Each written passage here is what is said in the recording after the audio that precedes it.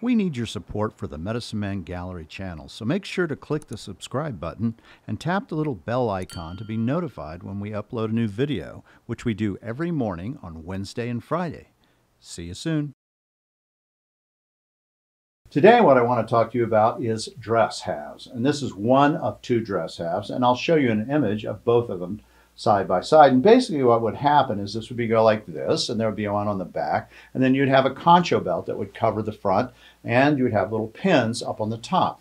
Now, we know about these being the earliest uh, textiles that the Dene made because of fragments found in 1805 from the Massacre Cave in Canyon de Chelly. So what happened in January of 1805, a Spanish garrison trapped a group of 115 Navajo, mainly women and children and some elderly men, in this cave. They were massacred, bullets were shot, shot into the cave, they were killed, and basically those bodies stayed in that uh, cave until 1903 when they were rediscovered by Sam Day. Now, the Navajos knew they were in that area anyway because uh, they didn't want to touch them. They were you know, clearly a sacred place, and Chindi are not a thing that the Navajos uh, wanted to get involved with. But Sam Day went in and he actually, with the Smithsonian, found fragments of these textiles. And you can see from the image I'm showing you that they look very similar to, to today's uh, dresses that were made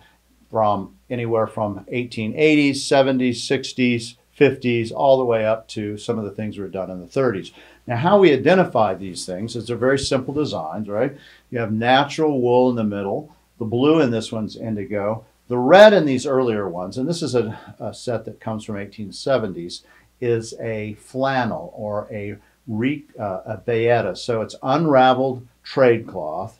And the trade cloth was gotten from either selling uh, or trading or sometimes raiding, and mainly with the Spanish. And they would unravel each of the little uh, parts of the trade cloth and either reply it or sometimes recard it.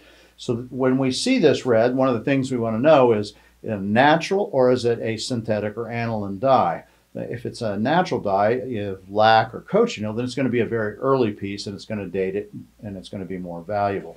Now, these were not religious type textiles. These were made to be worn.